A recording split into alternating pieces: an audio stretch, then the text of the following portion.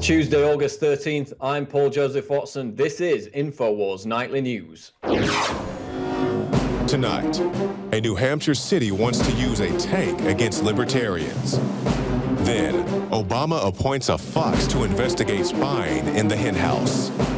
And will stolen Libyan missiles be used to shoot down aircraft?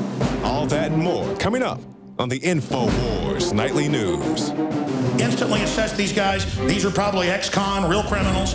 I've got my three kids here. Uh, that gives me, you know, just turbo dinosaur power. Top story tonight report. Michael Hastings was investigating CIA Director John Brennan. This is a report from Infowars.com. Journalist Michael Hastings was investigating CIA direct, Director John Brennan before his untimely death in a suspicious car accident, it has been revealed with the report set to be published posthumously by Rolling Stone magazine within the next two weeks. Now, as you may recall, InfoWars first reported from Hastings' close friend, Sergeant Joe Biggs, that the former Rolling Stone journalist was working on, quote, the biggest story yet about the CIA before his suspicious death.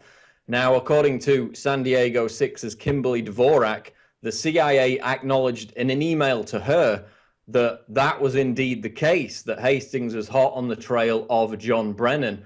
And Dvorak claims that the magazine is set to publish this expose within the next two weeks. That's yet to be confirmed by the publication itself. I emailed them this morning, no response so far.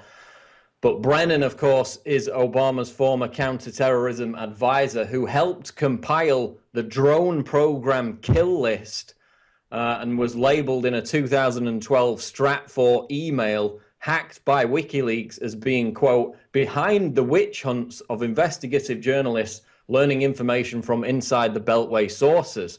So he's being cited as, as the key point man in harassing journalists who have sensitive information that they're going to publish. Very interesting in terms of Michael Hastings. So the big question is was Hastings about to reveal that Brennan had been tasked with targeting independent reporters who were in the business of releasing sensitive information.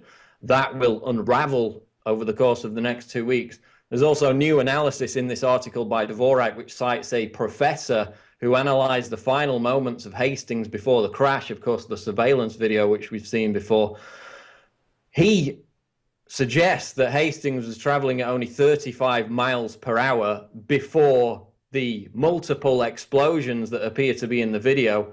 And that would explain, of course, why there's so little damage to the tree. And it would appear to bolster claims that uh, some kind of incendiary device could have been used to blow up the Mercedes if he was not speeding. The idea of it being a crash, being an accident, uh, begins to pale even more, but we'll continue to keep track of it.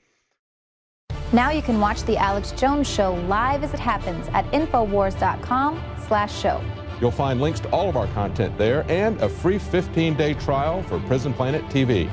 More than 60 movies and documentaries all in one place at Infowars.com slash show.